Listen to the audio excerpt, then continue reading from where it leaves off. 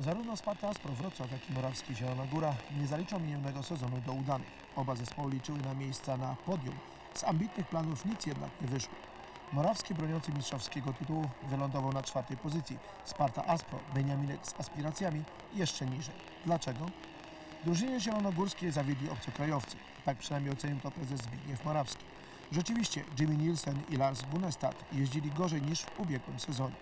Nie znaczy to jednak, że spisywali się źle. Po prostu zabrakło motywacji w postaci ogromnych pieniędzy, jakie jeszcze przed rokiem obaj Skandynawowie otrzymywali od bossa zielonogórskiego Speedwaya. Krajowcy jeździli dobrze. Andrzej Huszcza ciągle, mimo 35 lat, imponuje bojowością i dobrą formą. Świetny sezon, zwłaszcza jego drugą połowę, miał Jarosław Szymkowiak. Nieźle spisywał się Sławomir Dudek, zaś odkryciem nie tylko na skalę lokalną okazali się młodzieżowi reprezentanci Polski 21-letni Andrzej Zarzecki i 17-latek Piotr Protasiewicz. Gdyby rozgrywano ligę wyłącznie w składzie krajowym, żużlowcy Morawskiego mieliby poważne szanse na powtórzenie ubiegłorocznego sukcesu. Wsparcie Aspro zabrakło pewniaków. Jednego dnia do wyróżniających się zawodników należeli Załuski i Mili, innego Śledź oraz Baron. Ten ostatni to wielka nadzieja polskiego żużla. Robi systematyczne postępy.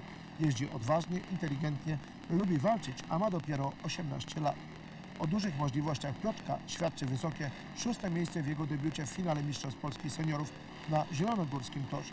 Niezłe występy miał też inny młodzieżowiec party Aspro, Waldemar Szuba. Na początku sezonu ogromnym wzmocnieniem dla drużyny wrocławskiej byli obcokrajowcy, szczególnie Tejtum i. Nie zawsze, mimo wcześniejszych deklaracji, można było jednak liczyć na finalistów indywidualnych Mistrzostw Świata, a przy końcu rozgrywek również na ich wysoką formę.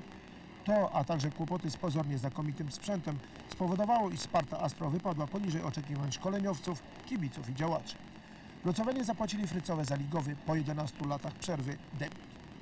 Zawodnicy obu zespołów martwią się o swoją przyszłość. Zielonogórzanie obawiają się, że w przyszłym sezonie może zabraknąć pieniędzy na dalszą jazdę, choć przecież większość z nich to zawodnicy młodzi i perspektywiczni. A jeszcze przed kilkoma miesiącami wydawało się, że żużlowcy Morawskiego są w komfortowej sytuacji. Nie brak też problemów natury finansowej we wrocławskim klubie. Nie są one jednak na tyle poważne, by byt Sparty Aspro stanął pod znakiem zapytania. Ba, myśli się nawet o wzmocnieniach, co zaostrzyłoby rywalizację w zespole. Póki co, pora na zastanowienie się nad niezbyt udanym sezonem i wyciągnięciem wniosków na przyszłość, bo i w Zielonej Górze i we Wrocławiu marzą o sukcesach przyszłorocznych rozgrywkach.